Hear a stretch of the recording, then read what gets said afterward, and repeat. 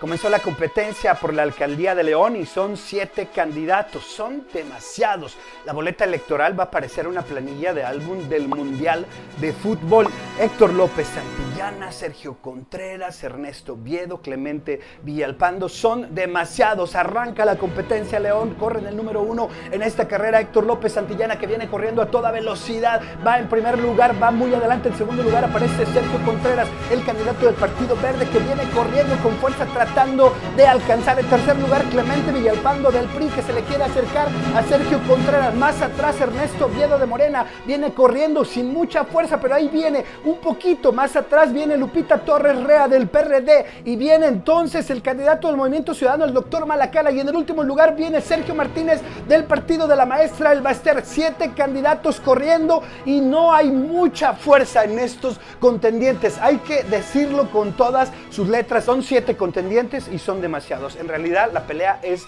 de tres. La pelea está entre Héctor López, Sergio Contreras y tal vez logra meterse por ahí Clemente Villalpando. Muchos candidatos para la ciudad de León y hay que decirlo como es, con mucha claridad. La caballada en León está flaca.